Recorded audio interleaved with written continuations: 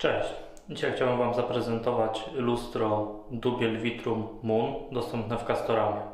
Ponieważ w internecie nie ma dostępnych filmów odnośnie tego jak y, wygląda to lustro, więc chciałbym Wam zaprezentować jak ono wygląda.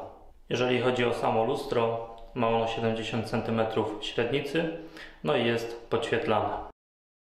Lustro posiada dodatkowy czujnik, aby uruchomić oświetlenie. Mocowane jest na dwóch hakach. Grubość lustra wynosi 4 cm. Jeżeli chodzi o wykonanie, to jest y, solidnie zrobione. Zasilanie jest 230 V. Dzięki temu, że jest y, włącznik dotykowy, zasilanie może być podłączone na stałe. Po zawieszeniu na dwóch hakach lustro bardzo dobrze przylega. Nie widać, żeby gdzieś y, były szpary. Dajcie znać w komentarzach, czy podobają Wam się tego typu filmy. Subskrybujcie kanał, a ja Wam dziękuję za oglądnięcie tego filmu.